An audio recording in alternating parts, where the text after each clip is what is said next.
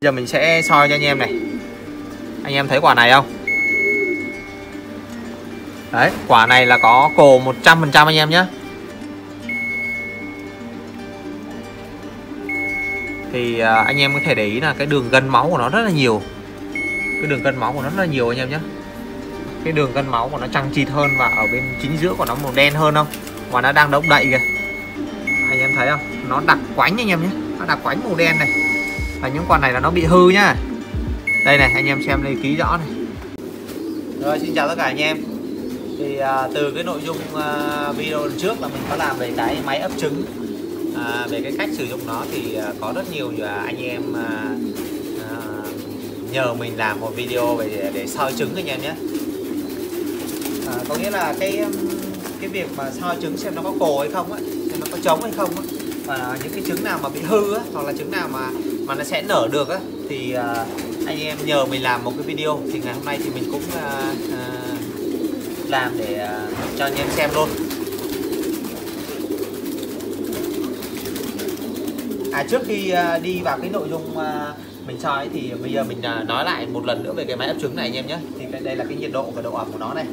Cũng như là anh em phải để ý uh, cái máy ấp trứng khi anh em mua về là anh em xem là cái chế độ đảo tự động của nó là có hoạt động hay không nhé anh em cái thứ nhất đó là cái à, đảo. Nếu mà nó không đảo thì anh em bấm cái nút này này thôn này này là nó nó sẽ đảo nhá. Và kích hoạt nó hoạt động nếu mà anh em mua cái à, máy về nó không hoạt động thì anh em khởi động lại nguồn anh em rút cái cái cái, à, cái, cái dây điện nguồn này ra này à, khởi động lại máy. Cái thứ hai nữa là cái nguồn nước này anh em này. Đây là cái cái nước để nó nó hút vô máy để tạo độ ẩm á. Ở trong này có một cái cục thì anh em để ý kỹ một cái là cái phao cái phao uh, uh, cái phao đo nước á, thì anh em phải để nó đúng hướng nhé nếu mà mình để sai hướng là nó sẽ uh, nó, nó không hút nước lên được đâu và nó dẫn đến cái tình trạng là bị hư cái máy á. Thì bây giờ mình uh, sẽ soi trứng để cho anh em xem luôn ha. Thực ra là ở chỗ này nó có một cái đèn anh em ạ trong này nó có một cái đèn để mình uh, soi trứng á nhưng mà ở cái à, cái máy này của mình thì mình vẫn chưa thay cái đèn được tại vì mưa nó nó bị hư mất tiêu. Thì bây giờ mình sẽ lấy uh, tạm cái uh, đèn pin này mình soi cho anh em xem luôn nhé thì uh, có lẽ là bây giờ mình mình sẽ tắt bớt điện đi. Tắt bớt điện để mình cho anh em xem. Thì để anh em xem cho dễ. Đây nhá anh em. Cái video này là cực kỳ là là cần thiết anh em ạ. Đây mình, mình bật lên lại xem nào. Rồi, mình uh, để cho anh em xem luôn đi.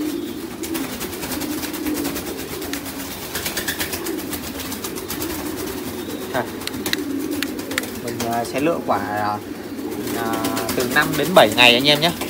Uh, lúc nãy uh, mình soi bằng cái đèn kia nó không rõ lắm anh em ạ. Soi mình soi bằng cái đèn này nó không rõ lắm thì bây giờ mình à, đồ bằng cái đèn à, điện thoại đi để cái gì mình cho anh em dễ hơn. Thì đây anh em. À, giờ mình để lên cái này cho anh em xem nó dễ thấy nha quả này là mới mới để vào anh em nhé.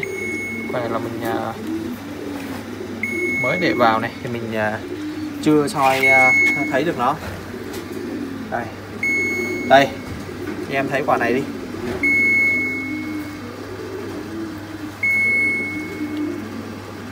Giờ mình sẽ soi cho anh em này. Anh em thấy quả này không? Đấy quả này là có cồ 100% anh em nhé đấy quả này là có có cồ này. Thì à, anh em có thể để ý là cái đường gân máu của nó rất là nhiều.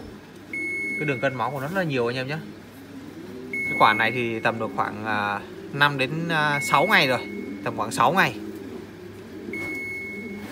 Thì đấy, ở bên trong nó đông đậy anh em ạ. Bên trong đông đậy anh em nhé đây là quả quả trứng nó nó có cổ anh em nhé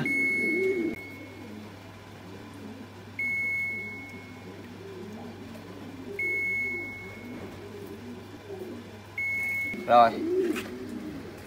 Mình soi luôn cho anh em. Quả trứng này nhá. Đây.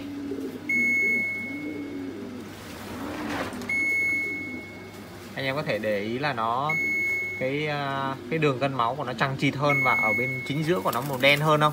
Và nó đang động đậy kìa. Là nó còn sống anh em nhé đấy. Nha, có cổ anh em nha. Con này là sẽ nở đấy. Rồi, quả này thì ờ, mới ờ, bỏ vào. Nhưng không không rõ được. Đây anh em. Cho anh em xem luôn quả này anh em thấy không? Quả này là có có cổ là, thùng khoảng mười mấy ngày rồi đấy. Anh em nhá gân máu của nó di chuyển thì anh em thấy nó đen hơn nhiều không? Đen hơn nhiều so với hai quả hồi nãy. Là những quả này là có cổ chắc nhé còn bây giờ mình tìm một quả làm sao nó nó bị à, có quả nào bị mình không biết là có có quả nào nó bị à, hư không ta? Đây đây mình có một quả nó bị à, để cho anh em xem quả nào nó bị hư luôn nhá. Đây anh em ạ. Anh em thấy không? Nó đặc quánh anh em nhé. Nó đặc quánh màu đen này. Và những quả này là nó bị hư nhá. Đây này anh em xem đây ký rõ này. Nó không có gân máu nó không có gân máu chẳng chịt là quả này nó bị hư. Thì ví dụ như là những anh em nào mà nuôi mà không để ý là cái cho ấp những quả này là sẽ không nở đâu anh em ạ. Còn uh, quả cho anh em xem những quả một quả nào mà nó nó gần nở xem này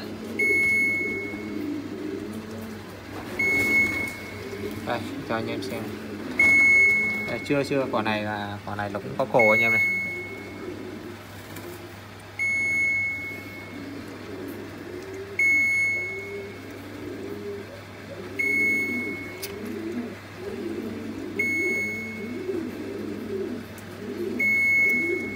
Anh em à, chỉ cần để ý là những cái quả nào mà nó nó mổ á nó bắt đầu nó nó mổ ngoài vỏ anh em thì nó là nó à, sắp nở nhá.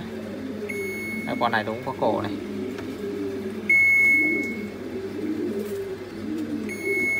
Vậy là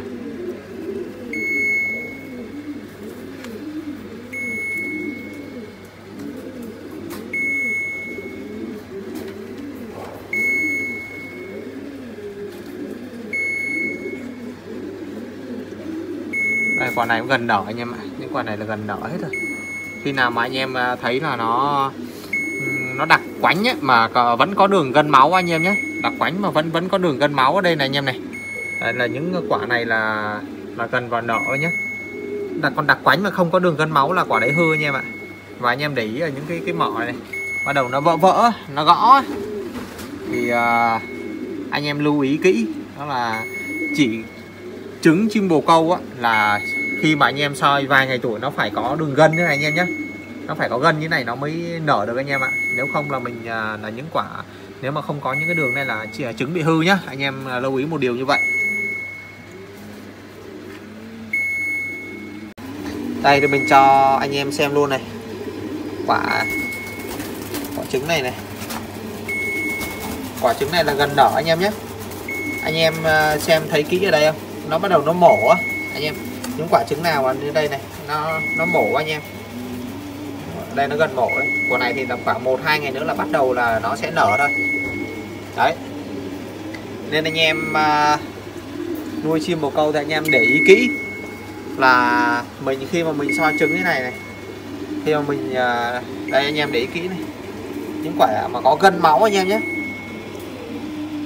Những quả có gân máu á là nó sẽ à, là nó mới nở được anh em ạ là nó có cổ có trống á. Còn những quả nào mà đặc như hồi nãy ấy, thì nó sẽ ờ, không có trống đâu anh em. Đây đây đây đây. Quả này anh em thấy rõ luôn này.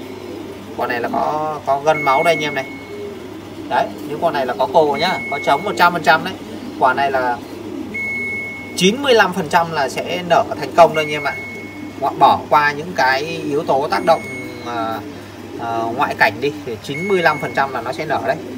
Anh em để nhìn kỹ này cái gân máu của nó này là phải là những cái gân máu mà còn sống anh em nhé. Còn có những cái ờ, gân máu mà nó nó đục á và nó là nó cái quả trứng đó là nó đã chết rồi.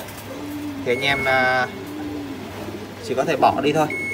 Thì đấy bây giờ mình sẽ nói kỹ thêm cho anh em một chút về cái cái cái việc mà uh, máy ấp trứng này một tí. Vì uh, khi mà có một cái quả trứng bồ câu nó nó đẻ ra anh em thì uh, uh, tầm khoảng uh, 18 ngày là bắt đầu nở anh em ạ. 18 ngày là bắt đầu nở rồi. Thì uh, cái khoảng thời gian đó, thì uh, để một quả trứng nó nở thì nó có ba giai đoạn anh em nhé. Giai đoạn thứ nhất đó, là cái giai đoạn để nó hình thành cái à, hệ thần kinh và cái hệ đường tiêu hóa của nó. Em nhớ kỹ nhé đó là cái giai đoạn đầu tiên của nó. Cái giai đoạn thứ hai nó nó hình thành à, xương và hình thành lông. Hình thành xương và hình thành lông anh em nhé. Cái giai đoạn này là cũng cực kỳ là là, là quan trọng mà mình phải là soi cũng quả trứng mà nó không có khả năng nở thì anh em bỏ đi tiếp còn giai đoạn cuối cùng là cái giai đoạn mà nó chuẩn bị nó nở ấy nở thành con ấy. Thì anh em uh, nuôi chim một câu thì là bất cứ nuôi à, nuôi cái loại động vật nào thì à, mà để trứng thì anh em lưu ý thêm những cái điểm như vậy. Thì uh, nhìn chung là cách soi trứng này là cực kỳ đơn giản đó anh em ạ. Đối với những cái quả trứng nào máu cổ là là có đường gân máu nha. Ừ, mà còn sống mà rất là rất là tươi mà nó nó nó động đậy nữa. Còn những quả nào mà đặc bánh là nó đã hư rồi anh em ạ à, cái video của mình hôm nay thì cũng xin à, tạm dừng ở đây anh em nhé. À, hẹn anh em ở những cái clip tiếp theo.